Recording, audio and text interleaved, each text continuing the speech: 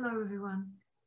Just thought I'd pop in and say I'm so looking forward to doing our first light language meditation on Monday the 20th. But tomorrow uh, at 7 o'clock South Australian time, we'll be exploring light language and we'll be using, this is over the next four Mondays, we'll be using light language to help take us to a deeper level and connection to our soul.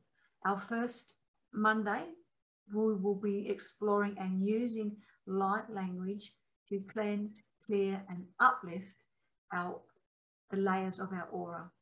The week after, we'll be using light language to cleanse, clear, and uplift our chakras. Then we'll be using light language to cleanse, clear our inner layers, the koshas. And the final fourth meditation with uh, light language, we will be doing a full connection to soul.